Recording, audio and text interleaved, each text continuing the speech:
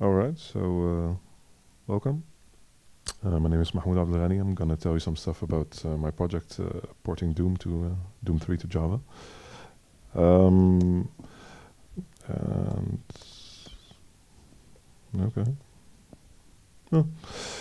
So um, a brief introduction uh, about some background about concerning the project. So, so id Software is a company created Doom. I don't work for them unfortunately. But uh, so they did some uh, cool games, uh, a lot of cool games actually. they're, they're, quite known for you know the whole first-person shooter thing and Doom and, and Wolf and Quake and that kind of stuff. So probably you know them from that. Um, another cool thing they did is, sorry, is uh, they they open sourced almost everything they uh, they created. Uh, that's that's pretty cool. It's pretty I don't know, it's progressive. Uh, I mean, most of these games, okay, so you can ignore the first couple of games, but you know, Wolf, Doom, Quake, um, they're you know triple A games actually. So to open source something like that back in the 90s, it's uh, pretty interesting. So uh, everybody has hacked Doom and, and the such and, and modded them and, and to oblivion, and uh, it's amazing. a very different era. They come from a very different era, from the 90s. Anybody here has lived through the 90s prior to you know Stack Overflow and shit. Uh, people just reinvented the wheel all the time, and interesting stuff came from from that. And uh, you see a lot of that stuff, you know, if, if you look at source code like this, or you know, Linux kernel source code, or any source code that's existed for a long time, you see a lot of this kind of stuff. Um, to demonstrate that, I have a nerd rage anecdote that's nothing to do with me. But uh, back in the 90s, uh, after they released source code of Doom, people, you know, were, were looking through the source code and code reviewing the source code. And, uh, and somebody, you know, he noticed the, wor- the way uh, asset loading worked in Doom um, was basically uh, you have a large file, and if you want the picture of the Doom guy, you just iterate through the whole file until you find the Doom picture and you, you load it. You want the sound of the shotgun, you just iterate till you find, and such, etc. And, you know, when, when I'm telling it right now, everybody thinks that's very inefficient, and that's what the people thought in the 90s. And uh, you know, the, they got angry and mad and went on mailing lists, uh, which was you know the Facebook of the 90s, and started ranting about it. And this is not how it's supposed to be. Everybody knows this kind of stuff. You put it in a hash map and such, our hash table. And the Doom guys themselves, they were also on the on the mailing list, and they, you know, replied no, no, no, we, we really worked on this hard. We, we thought it out and we tested it and that kind of stuff. And this is this is how this is the most efficient way to do it. Nobody really believed them, um, but it turned out they were really right. Um, so this was the easiest way to do it, but it also used the least uh, resources. So back in the 90s, disk space was a problem, uh, memory was a problem, CPU was a problem. So you know creating a hash table for uh, something like this for all your assets. I don't know, maybe it was a couple of hundred bytes. I'm not sure how much it would be, but it's, it's memory you don't have. So this was the most efficient solution for, for the game, you know. And if you put it in a hash table, maybe your game would load faster, but it would be marginally faster, and who cares about that, you know? It's better that the, that the game run faster than load faster, you know, so so that's uh, so, so I really like that story, you know, because um, what that story to me at least demonstrates. I was discussing this with a friend of mine, and he told me, "Yeah, premature uh, optimization is the root of all evil." And sure, but but to me, it really signifies something like how many of us actually do de-optimization to optimize something else. You know, most of us just optimize a place and then forget about it, and then optimizes the next place and such. But how many of us actually de-optimize something to gain performance somewhere else. So that's interesting. So uh, yeah, djoom3 is the name of the project, uh, the, the, Java version of uh, it's up on GitHub and such. I've been working on it, uh, I think now for three and a half, four years or something. Uh, to me, at least, it's amazing. You know, it's uh, a lot of code. If you look at the table below, so that's kind of the evolution of their engines, uh, game engines over time. So this is the first Doom, 40,000 lines of code. id Tech 4, that is this one, Doom 3, 600,000 lines of code. So that's amazing. So I've uh, I've worked on 600 lines of code in a single project. Uh, I hadn't done that before, And one of the most amazing things I, I learned is, um, you know, I always thought, you know, programmers, some programmers were super geniuses and they could, you know, fit a million lines of code in their heads and just remember every part of it. But after working on this and after reading some stuff the guys that worked on this talked about, they, they, they had the same problem I have. I couldn't fit all this in my head at the same time. Um, and this, I've been programming for 20 years. This is the first time, you know, in my career that I've really encountered such a large code base for a single thing, you know. So, uh, so as you see, uh, you'll see in, in, the demo at the end, you know, some stuff is just broken, and I that stuff was working, uh, I don't know, months ago, but now it's broken. And to fix that, it was probably, you know, a very simple fix, but I have to. So some of the sound is not working properly, for example. But I'm doing a lot of graphics bugs right now so if I have to switch that context, you know, I lose all the graphics. It will take me about a week to just switch the context, and then lose all the graphics knowledge I have at the moment and such. It's kind of annoying. So, um, but you know, so uh, so why this uh, cool intro? So the intro is to give you a bit of a um, context switch, actually, since uh, we just mentioned that. So this is all very game oriented, you know it's not game oriented in, in the sense that we're gonna you know describe how games are made as such, but a lot of the stuff that's that's going to be pre presented here, or, or I'm going to rant about actually, might not really be interesting to what we do in our uh, day-to-day jobs. Um, you know, so so I don't know, uh, operator overloading. Who cares about operator overloading for a Java enterprise application, for example? But for games, they're pretty cool. They're pretty interesting. They're very important. You know, they reduce errors, reduce bugs, and that kind of stuff. So, um, so that's basically this whole intro. Also to uh, you know just uh, waste some time.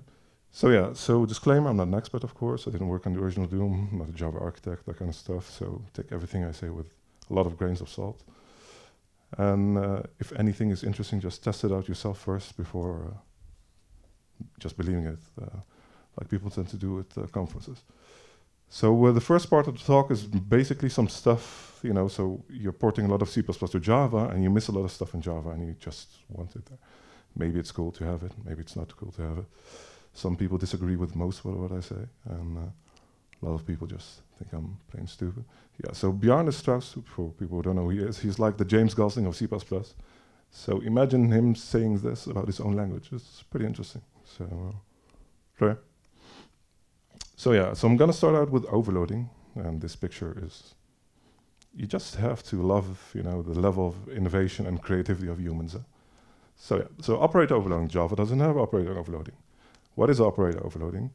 In some languages, um, like C++, obviously, you can define a mathematical, you can define any kind of object. You can say if I use an operator like plus or equals or whatever with this type of object, with another type of object, so type object A plus B, for example, you should, you know, add the members or multiply them or whatever you want. So, um, like I said, this might not be very interesting for our enterprise applications, but for games, you know, games, especially 3D graphics games, are basically just math. You know, a lot of math. You know, a lot of 3D space geometry math. So, you know, you want to define matrices and vectors and, and curves and whatever, and you want to, you know, do math on them, obviously. And um, so yeah, so so the first one, so, oh yeah, so the one on top, so that's from a paper Guy Steele wrote. He was one of the original Java architects.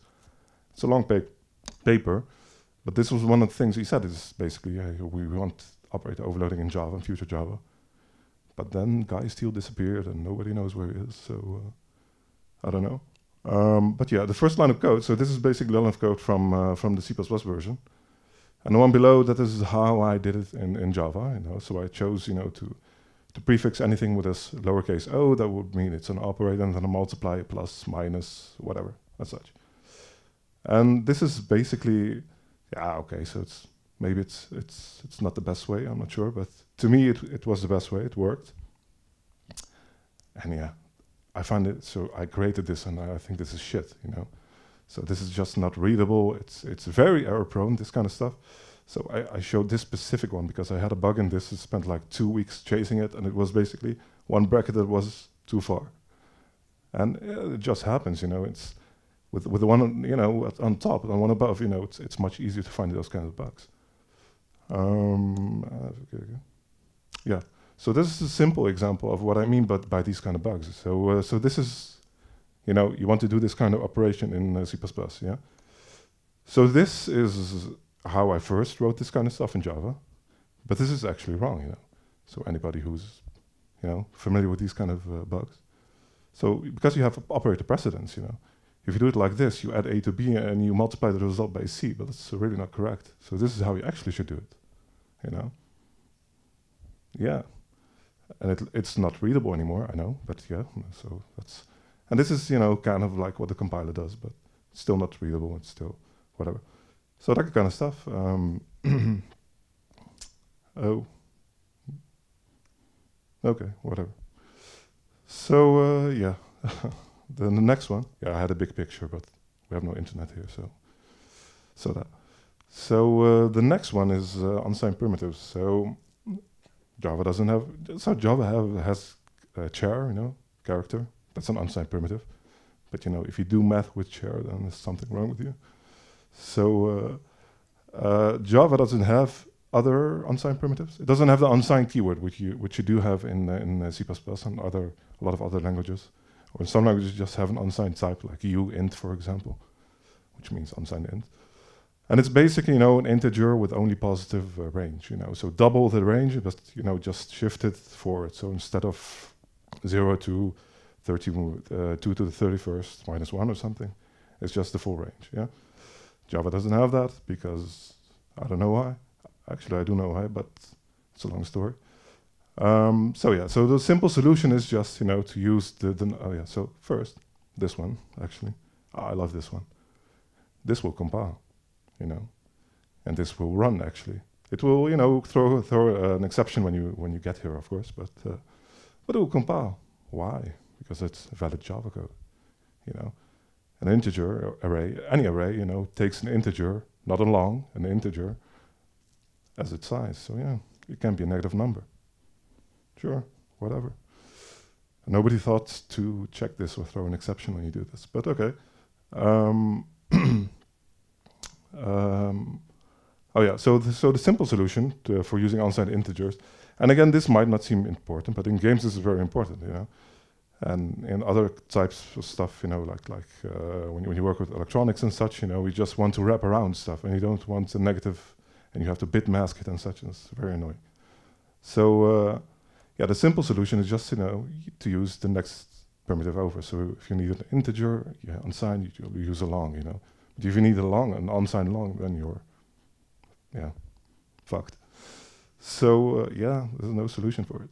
So yeah, and of course, when when I came across this problem, the first thing that came to my mind, which I know some of you are thinking, is hey, use big, big ints or big decimals and such. And yeah, I really uh, thought it was a good idea at the time, and I did a lot of refactoring, just trying this out. But then your memory footprint just quadrupled, you know, for no apparent reason and it got slower and such. So these are some uh, benchmarks, uh, simple benchmarks, you know, just that simple loop over there. And you just note, you know, even a difference between int and integer, which is basically the same thing, but, but an object. You know, there is a difference there, you know, and think about it, you know, for a game, for stuff that has, I don't know, thousands and sometimes millions loops, uh, iterations per second, this is not cool, you know, so uh, if you do this once for a microservice or whatever, who cares? So yeah, so uh, micro benchmark. Yeah, cool. Um, yeah, not sure why this picture loaded, but okay. So yeah, immutability. Java doesn't have immutability. It does, that kind of has immutability, but it doesn't have something like um, in uh, C++ you have uh, const. You have a keyword called const, and just put it in front of something and it becomes immutable. It's like magic. Yeah. We don't have that. We have final. It doesn't do anything. You know, it just appears to do something. Yeah, okay. So to, to be fair, final, you know, it's it's supposed to do something else. It's not supposed to do this. It's not supposed to replace const. But I don't know if you if you look on old older Stack Overflow post or I don't remember what we used to do before Stack Overflow. But if you look, look in older literature, so to speak, everybody says no, no, no. We don't have const in Java. Use final as if this is supposed to, you know, substitute uh, const. Absolutely not. And ironically enough, const is, is a reserved keyword in Java. It's never going to be used, I think. I hope it's going to be used. But uh, so so these are some examples. I'm going to go through one or two of them. But you know, um, oh yeah, and const in, in C++, when you put it in front of something, it not only becomes immutable, it becomes an immutable type. You know, so const in this case, for example, in const idvec3 is not the same as an idvec3. It's it's kind of like a different type. So you can't pass a normal idvec3 to the function. Granted, you know, so C, C++, when you get that low level, you know, you can do anything and you can, you know, work around anything. So you can work around this stuff. But out of the box, this is how it's supposed to work. And get dimension, for example, you can define a function const. You know, in Java, you only define a function uh, final. It can be overridden, which, which is cool. Can be can be helpful, I guess. Uh, but in this case, you know, this function is not allowed to change anything within um, within the object it's called from. So you know, this is a read-only function. You're just looking at the interface. You know, hey, this function is uh, read-only. So it's also cool. We don't have that in Java, but uh, maybe sometime, maybe we will have that kind of stuff. So yeah, final. I'm not going to rant about that because uh, just that. yeah. So uh, another operator that another um, functionality that we don't really have in Java out of the box is sizeof. And I know this seems like a useless operator, really useless functionality. Um, but you know, for, for this game especially, you know, we're doing a lot of OpenGL, and OpenGL has to know the size of everything you pass it. You know, it can't just you know give it an object and say, okay, this object, just use it and such. No, you have to give it, I don't know, five bytes and say, hey, this thing is five bytes. So that's how OpenGL works, and uh, you can't change that. Maybe somebody someday will, but uh, currently no, this can this won't change because OpenGL is basically talking to the hardware. So this is a hardware interface, and how to ch to change that is is not really uh, you know sane actually. And why would they? You know, people aren't complaining about this. We're the only ones complaining about. It. But you don't have that in Java. Um, and yeah, so a simple solution for me at least was you know to just define bytes in every object I create. And this is actually something uh, Java already has for most of the stuff that's in Java. So if you call integer.bytes, you will get four bytes back, or or float.bytes and that kind of stuff. So I basically just stole it from them.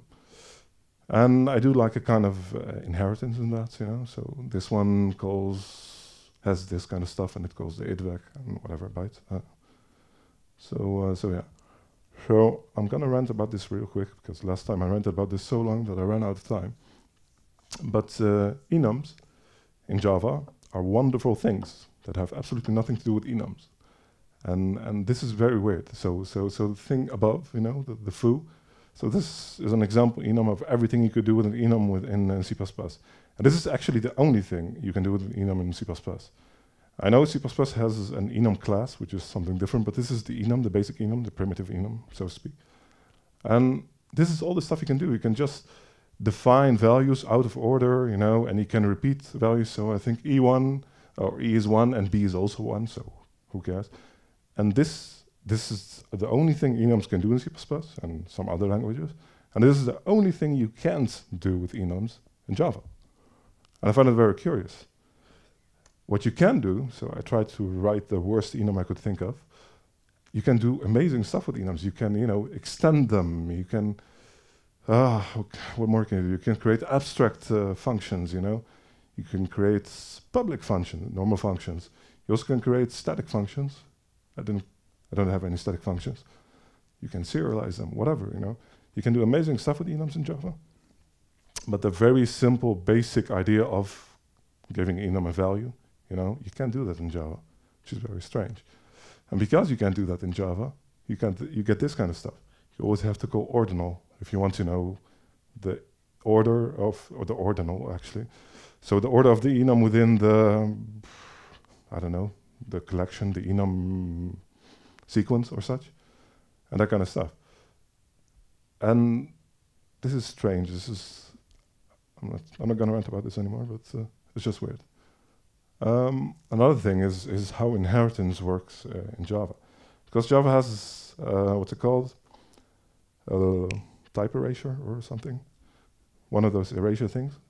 You can't, so another common pattern in, in games at least is you have a lot of single inheritance, you know? And, you know, so you have sorry. So we have, you know, like a like a grandchild uh, object, and it wants to call the super function of its grandfather, but skipping the super function of its father. So we want to call the super dot super function, basically, Java terms. And that's not possible in Java, you know, in in that specific way, you know. And that's very annoying. So we have to, you know, work around it. So uh, in C++, you can just call it like uh, the one on the right. In Java, you have to be creative and, you know, overexpose the function in the father or something. So, um, yeah, it's weird. Um, yeah, so uh, pointers, of course. I usually start with pointers, but I thought, you know, let's uh, do it different this time. And cool picture. It's kind of readable. So yeah, Java doesn't have pointers, of course. Um, at the beginning of Java, people were proud that they didn't have pointers, you know, because all C++ developers, the new C++ developers, they always, you know, fucked pointers up, you know. When they had to create pointers, they just, you know, they either allocated the pointer, never freed the pointer, or it was just annoying stuff. And Java doesn't have that, of course, so uh, it's annoying. But Java does a lot of stuff for you in return. But you lose a lot of benefits as well, you know, so... Uh, I have a slide near the end because you don't have pointers, some debugging becomes very difficult. Um, so yeah, so this is a common pattern in Java and uh, C++, for example. The equivalent of this in other uh, programming languages would be if you want to have multiple return types, you know, so like in Python or Go or, or, or whatever. So Java doesn't have multiple uh, return uh, types, and it doesn't allow pointers. So how do you deal with you know one method that that gives you more than one thing back? You know. So yeah, my simple solution is, is the one you know below, of course. Uh, it's just creating a lot of one element arrays, you know, and just give the array and just get it back uh, within that and such. And you know, it's, it's not very nice, but uh, it's it's better than uh, creating a whole wrapper object and such. So uh, I like this approach. Um, so yeah, another cool thing with pointers is you can do you can basically just cast stuff to other stuff, you know. So here, for example, you have a three by three matrix, and you say, I want a float point, uh, a float pointer from that uh, matrix. And the C++ you just say, okay, just give me cast this address to a float pointer, and you know it's nine positions, three by three, and just get that back. And Java, you have to be creative and do this kind of stuff, you know. Why this is important? OpenGL, once again. Uh, yeah, I'm gonna skip that one. Oh yeah, so this is the only pointer we have in Java which is very annoying, I think. So you know, it's like you know, getting none of the benefits and only getting the, the you know the price you know you pay. So null pointer exception. So this is very annoying, and uh, it should be called no, null reference exception actually, not null pointer exception. But that's also a different story. So yeah, so that's basically uh, all the cool stuff uh, we don't have. Wish list, hands. Um, so yeah, but yeah, C++ is not the best language in the world, of course. They have a lot of stuff, a lot of stuff I came across. So just shit, you know. And uh, yeah, so let's. Uh, anybody know the answer to this one? Okay. Nobody. So uh, C++ and a lot of languages have macros. And at the beginning of, of Java, or at the beginning of the 2000s at least, I, I, can remember a couple of guys or a couple of people wanting to introduce macros in Java. And I'm really grateful they never uh, succeeded because macros are very strange. Uh, they're, they're, somewhere in between everything, you know. So macros. So wh what is a macro? What does a macro do? So here you say define square x. So that's the definition of the macro. You say I'm defining when I call square with anything as x, I'm going to return x times x. That's basically what a macro is. It's search and replace. Huh? This is nothing. This is not code. This gets search and replace before you compile. But it's it's readable for people and it's it's easy sometimes. And you can do anything with this. You can define constants, you can define functions, you can define parts of a function. You can do magical shit with it. So this is a simple example of why you shouldn't use point, uh, macros, yeah? So this is on, I, I, think I got this from Stack Overflow. Um, so when you see this, square x plus plus, what do you think will be the result if x is 5, for example? And most people get it wrong. I, I got it wrong. But this is actually what happens because it's search and replace before you compile, you know. So you get a very strange, for with five you get 30, I think, or such, which is an impossible solution if you pass it, a number, you know, or you would think. So, uh, so that's a, so that's an example why not to use pointers. this is another example. Uh, this one is from, so yeah, the title of the slide is Death by Macros. This is from an article ca- called Death by Macros. Uh, this is a piece of code from, um, I don't remember. But uh, basically, when, when somebody would, would do crazy stuff with, with pointer, uh, with the macros, sorry, uh, they would give them this piece of code and tell them, hey, explain what this, uh, what this does. And the highlighted parts, and I, I missed some of them, but the highlight parts are all the macros and such, and this is very difficult to understand code. So yeah, so why are pointers? Yeah, so pointers are nothing, so they're not a duck and whatever. Um, so, so yeah, so this, for example, so this is four or five pointers, uh, four, four or five macros, sorry. And this unrolls to something like this, which isn't very interesting, but I want to show this one because this is the same one. These are the exact, the exact same macros, but you, as you can see, you know, float uh, the destination type above is, is a float pointer, and the destination type below, you know, is a byte pointer, you know. And macros don't care, you know, they just are type agnostic, you know. So to translate this kind of stuff to Java takes a lot of work, you know. You have to do it for everything and, and such, and annoying shit. And uh, yeah. So C++ joke. So C++, you know, same way uh, we uh, we worship camel case in, uh, in Java. The C++ people they worship and believe in something called Hungarian notation. And the Hungarian notation, uh, the idea behind it is to be a descriptive notation. Um, I find it not descriptive at all, but th- this is a simple example, you know. So this the one in orange that is that's that's a Hungarian notation, and you know the M underscore, and they really do this, you know. So that signifies it's, it's a member of a class, you know.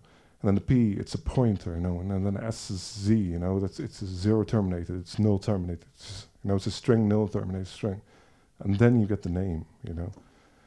And people go overboard with this kind of stuff. So this is an example of the one on the right below there. That's an example of a very fucked up one, but you know, people do this. And uh, you know, we don't have that in much in, in we don't have it at all in Java, I think. Um, maybe in the early days. And I'm grateful for that. Uh, I could never get used to uh, Hungarian notation myself. Maybe uh, people, other people that could, but uh, okay. So yeah. Um, oh yeah. So so yeah, Hungarian notation is evil, but like I said, camel case is also kind of evil. You know, especially in uh, Spring, for example, those guys are notorious. But this one, this is an actual class name in Java. Um, uh, I'm not sure if it was removed or not. And yeah, this guy wrote a cool post about it, so I thought I'd share it with you guys. So, uh, but yeah, so Hungarian, uh, so camel case can also go overboard. Yeah, should I explain unions? Yeah. So union is something uh, very strange in, uh, in C++, and uh, I thought I understood them, but recently I spoke to some C++ developers, and, and then I knew I didn't understand them. So, uh, so union, I thought at least uh, they were like a class, you know. So you can define multiple members of a union. So basically class with multiple members, but all the members overlap in memory, and you basically just use the largest amount, uh, the, the largest member. So in this case, you know, the int is the largest member, 32 uh, bits. So this union is 32 bits, and if you call D, C, B, or A, which from the struct, you know, they will overlap with the int. You know, a simple example to do it with an IP address. So that was what most people say unions are useful for.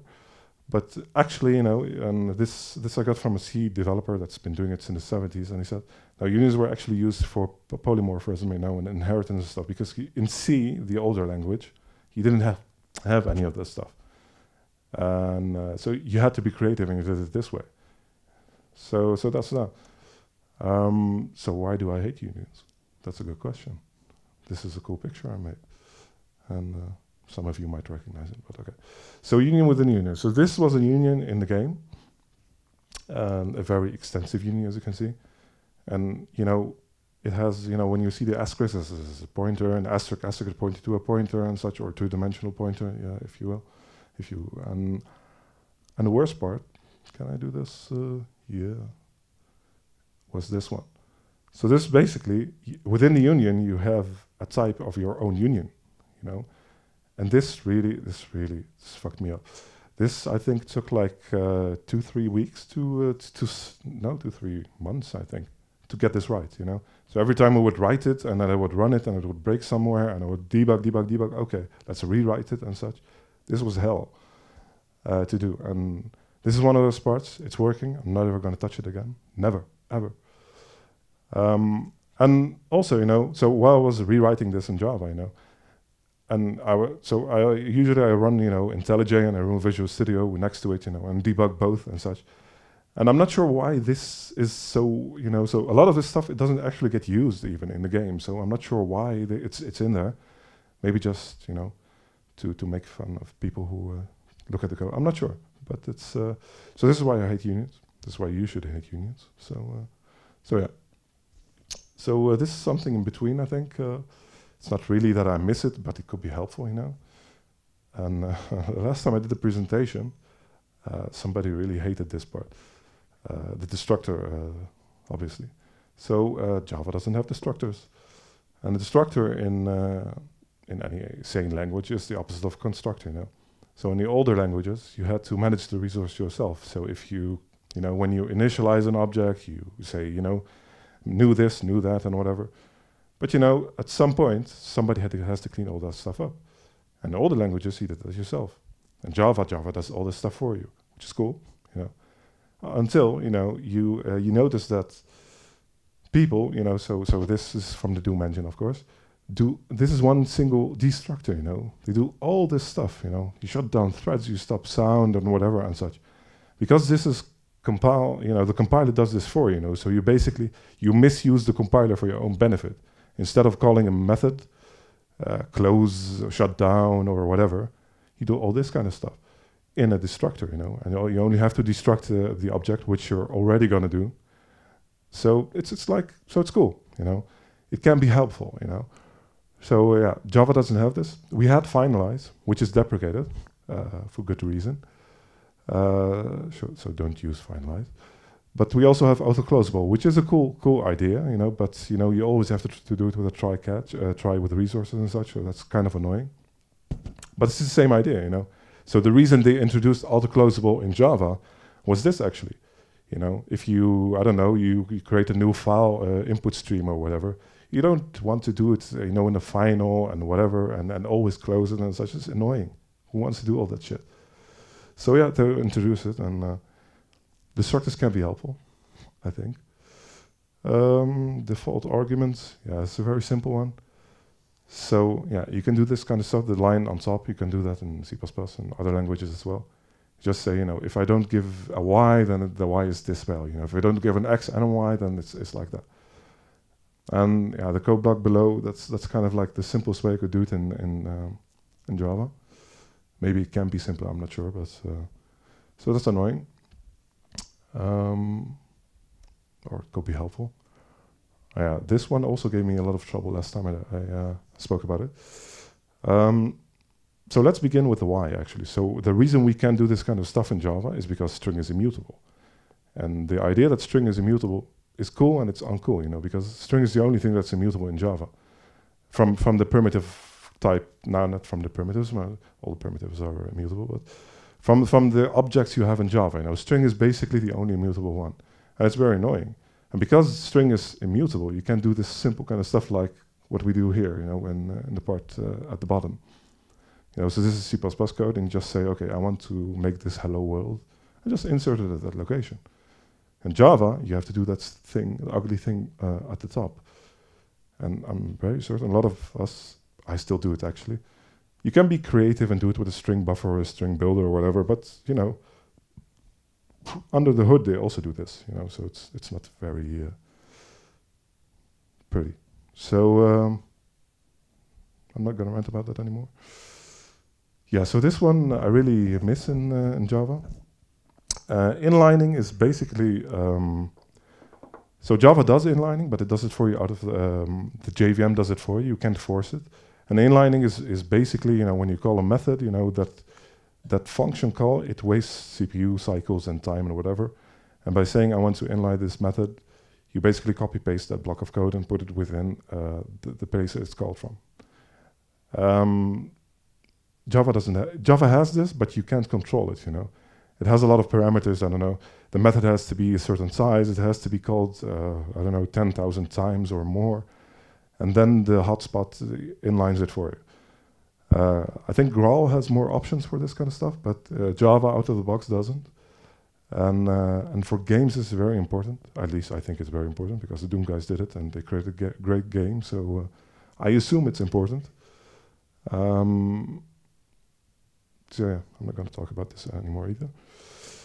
Um, so yeah, so um, yeah, it's a weird list. Anybody know the answer to this one?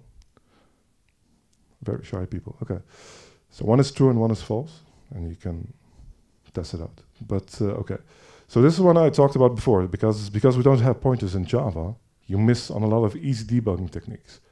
So in C++, if uh, if you have like I don't know you know, uh, something, an x for this, uh, an x of an object, for example, and you want to know when this is changed. You know, in C++ you can just watch that memory address because it's a you can point a pointer to that memory address, in layman's terms, and just watch it. And the moment it's accessed or changed or whatever, the breakpoint goes off. In Java we don't have that. Um, we have something similar. It's called uh, I don't know, a field modification breakpoint or something. So this screenshot is from IntelliJ. Um, it's very slow. That's that's that's really why uh, it's not very helpful. It's very very slow. So when I use this with the game, um, I never get to the breakpoint. You know, the game becomes so slow, so it goes from I don't know 60 frames per second to half a frame per second, and it never gets to the breakpoint. Um, but when I use it with other applications, so you know, with with just a piece of code, 100 lines uh, or something, it does get there. So it can be helpful, I guess. Um, and uh, I've only seen this in IntelliJ, and I asked the IntelliJ guys before, so people, uh, why is this so slow and such? And they told me, yeah, it's, it's not really our fault, you know. So this is not an, an feature that IntelliJ uh, built. This this actually exists in the TI, the tools interface of of Java. That's where all the debugging stuff and, and uh, instrumentation stuff comes from. Um, and it's just slow, you know, and nobody touches that stuff anymore because I don't know why actually, but so it's just slow and we can't do anything about it. But yeah, it, it's there. You can use it. It's cool. It's not the same as this. And setting it up is also very difficult, uh, or much more difficult than this. So uh, so yeah. Um, this is another one. Um, yeah. So so uh, this is the primitive, the widening primitive conversion. You can put a float within a double, and you can put an int within a double, or int within a float, or a long within a double, and such. And the compiler would just allow it. To be fair, other programming languages do this as well, but it's it's very error prone. Um, if you look across these things, some of them are the same when you cast them back, but some aren't. You know, so the float sum, for example, if you when you cast it to a double, it gives a different result from the double sum which is basically the addition of the two floats. And I've had a lot of bugs around this kind of stuff, and it's very, very, very difficult to find. Um, there's, no, there's no really real solution for this. I'm just, you know, ranting to you, fine folk, uh, so early morning. So, uh, so yeah, this is annoying. Yeah, this is this is a cool feature in in Java actually, uh, and surprisingly, not a lot of people know about this. So just last week, somebody was asking me, wouldn't it be cool if Java had this? And, uh, and I told them, yeah, it already has this actually. But uh, you know, he was using Eclipse, and it was difficult to find in Eclipse. So this is a, in, in Java, you know, when you set a breakpoint, you get a call stack, which is the yellow part on the left. And you can just basically say, okay, I want to, uh, at this breakpoint, I want to drop the frame and go back to the previous point. And this is very helpful um, sometimes, and can be very helpful, you know. So when you set a breakpoint, but you set it, for example, a couple of lines too late, and you want to say, okay, now I want to go through those lines, so you drop the frame and then just, you know, step in step by step till you do what you want. The biggest problem with this is, um, I'm not sure if there's the only problem, but uh, the biggest problem at least is um, that it's it doesn't it only drops the frame actually. You know, if you changed anything outside of the context of that frame, it doesn't really care about that you know. So if you call a function on an object, for example, and you change one of the members of the object and you drop the frame, that member won't be turned back, you know. So if you did x plus plus, it, it's already incremented, you know. But everything you do within the function, within the scope of the function, that will be turned back. So uh, be careful. Um, C++ has a, another one, which is much better. Uh, so this is from GDB, and it's basically, you know, you can reverse step. So uh, as you step into something or step over something, you can step back, you know.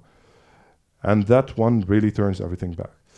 Um, it's, it has some limitations, you know, but it's it's kind of better than uh, than the Java. Uh, uh, I'm not sure if it's better, but uh, it's something different. Um, and yeah, who knows? Maybe we'll get this in Java someday. Um, yeah, thank you. Um, yeah, so this is the floating point operator precedence one uh, I talked about. So the operator precedence one I talked about when when you overload uh, operators. Um, so so you already have uh, operator precedence for everything that already has operators. Not everything, because string also has operators, but it doesn't have uh, precedence. Um, but uh, and sometimes it matters actually what what you how what the order is uh, you do things in. So this is an example with specific values, of course, not, not, not any value would do this. But mathematically speaking, these two statements should be the same, you know. A multiplication and a division, you know, doesn't really matter what order you do the things in, kind of, yeah. So these two will return different results. Um, and this one, yeah, this one as well. This is what with multiplication and addition, which is even worse, you know. So mathematically speaking, both these statements are the same. Uh, this is an actual bug I had in the game. And I think BLA2, uh, from the one on the right at least, uh, I think uh, BLA2 is zero, while BLA1 is an actual value, or vice versa, I don't remember actually. And yeah, this is very tricky stuff. And this is, I'm not going to say undebuggable because I found the bugs, but it's very difficult to debug it because you're not really doing anything wrong except being stupid, you know? So, so that's, uh, here's a better example with actual values, yeah? uh, with actual printouts of the values and such. So who would actually imagine that these two would, uh, would, would you know, give different results? And yet they, would they still have different results. And the, and the reason for this, oh, I didn't explain the reason, but the, the reason for this is, is because floating points have limited precision. You only have 32-bit precision. And at a certain point, when you do something, you have, you have to round it up. Or the, the JVM does it for you and this also happens in C++ in most languages. It's just an IEEE thing. Huh? It's just how the standard works. So if you do an operation, you round it up, and then you do another operation on the rounded up version uh, value, you get these kind of errors. Granted, you know, a point oh, oh, oh, one isn't much, but it's still not the same value. And this is another one, also with addition. Same fuck up, you know. And again, for our day jobs, not very important, you know, but you know, when you're doing game, you're only working with floats and floating points, and sometimes. So this one, the one uh, on the right, there's an actual bug I had. You know, I thought I would be creative, you know, and rewrite it mathematically instead of a minus b plus c. You know, I would do it like this, because you know, when you're doing 600,000 lines of code, you get bored and try to amuse yourself, and you do this kind of stuff. And months later, you find a bug, you know, where you're I don't know, uh, instead of going right, you're going left and dying and such stuff. So it's uh, important stuff. Uh, how much time do I have? So yeah, conditional breakpoints are also pretty cool in Java. Um, all programming languages, um, most programming languages have them, except in Java. And I didn't know this myself. I only discovered it when I was doing the game. They're very, very, very slow. You know, um, usually, you know, because you don't go through breakpoints, uh, go over breakpoints a lot. You know, in your application, you just so conditional breakpoint is when you set a breakpoint and you set the condition within the breakpoint itself. You know, um, uh, and this this is the other one. Uh, so this is a normal breakpoint, uh, at least the example is. You know, um, and in Java, you know, so this is another micro benchmark. Uh, I did a comparison with a simple loop. So the first experiment is instead of i is even, uh, i is odd actually, no, i is even. I put that in a conditional breakpoint, and uh, this is the other example. I did a normal breakpoint and I put a condition in if statement. And turns out it's about, if you can believe this, you know, it's about 180 times slower, you know. So I know this is probably a little bit exaggerated, uh, but you know, I was too lazy to redo the slide. But it's it's much slower, you know. So I notice this a, a lot in the game uh, when, when, I debug stuff. I always use an if statement and just compile the code. It's much easier, and uh, it's much faster. You know, and the reason it's it's much faster is is when you do conditional breakpoint, your uh, your debugger goes into interpretive mode, which is very slow. You know, so beware when you do this kind of stuff. It's very slow. Um, I hope I have enough time for this one. Um, yeah, so let's just skip this one. Uh, so I'm gonna show you the progress of the game. Um, in the meantime, you can ask questions because it takes some time to uh, start up. So any questions? Oh, sorry. Yeah, yes, sir.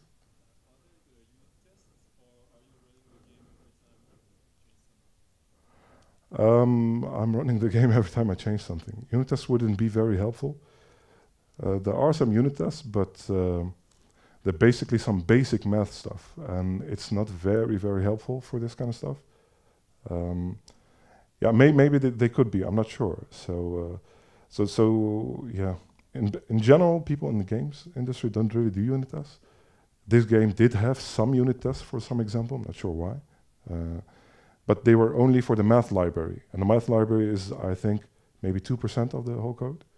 So yeah, so that passes, but how we use it doesn't pass, or how I use it doesn't pass.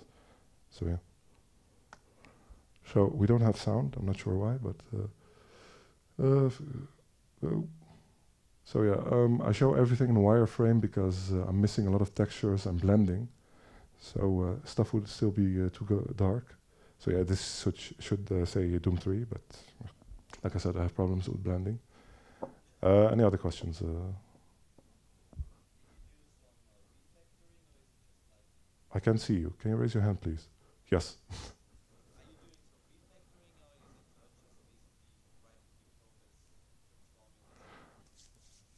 Um, mostly it's just transforming the code. Um, some refactoring, but uh, most of it, I think 60% uh, just translating code and 40% refactoring and 100% debugging. So, uh, so yeah. Any other questions? We have like two minutes. This is much better with sound. Yeah.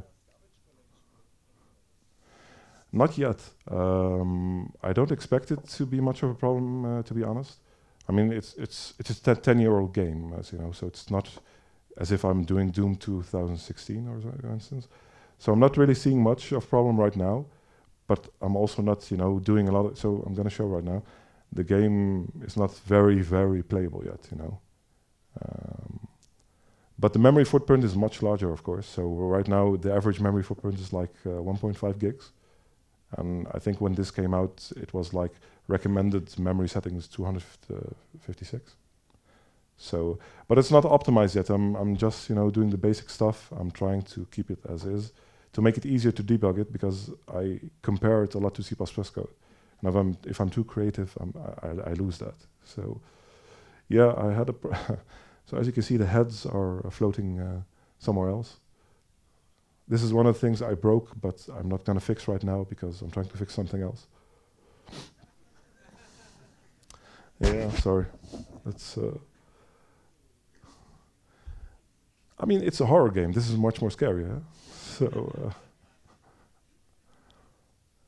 yeah.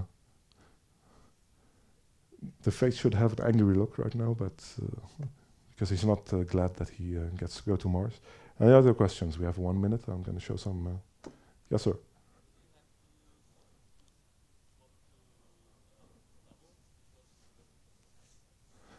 Um, yeah, I tried that it was not a good idea.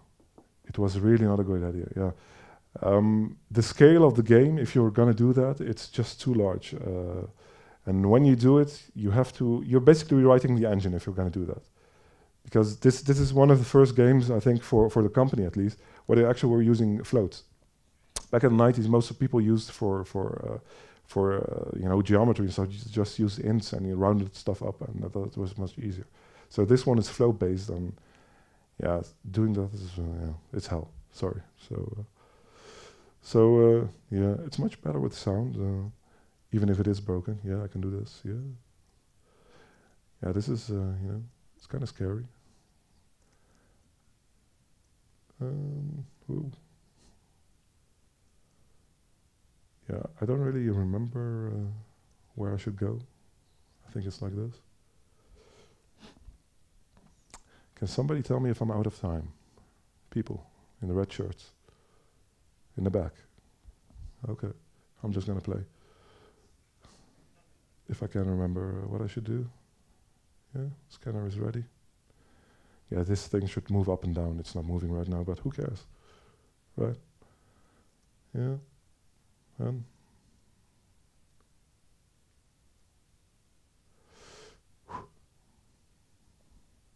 Am I out of time? I'm out of time. So I'm going to kill myself, which I'm very proud it works. Yeah. And he makes an oh sound, but you can't hear it, so um, sorry. Thank you very much.